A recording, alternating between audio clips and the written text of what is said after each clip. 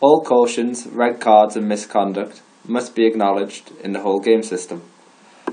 Once you've navigated to the discipline section down the left hand side of the screen, you'll be presented with the discipline dashboard. Here, all current cases will be displayed.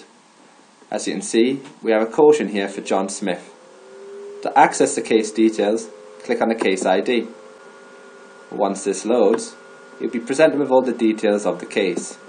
As you can see, acknowledged is currently showing no. Using the button in the top right hand corner of the screen, acknowledge, click this. You'll then be told that a discipline admin charge of £10 will be invoiced to you separately. Click OK. However, we do not currently hold any information for John Smith in our records. Therefore, the case cannot be acknowledged. This will give you a warning screen telling you this. To update John Smith's records, click on the hyperlink of John Smith's name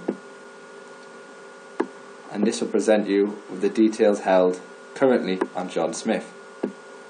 Using the Update Details button in the bottom right hand corner,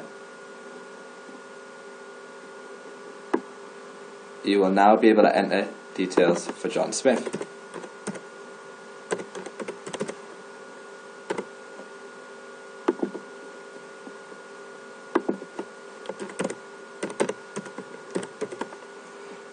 Can use a postcode finder to search for an address. The most basic information needed and required is a date of birth and home address. Click Save and now John's details will be displayed for you. Click back and you'll be taken back to the caution details screen. Hit acknowledge again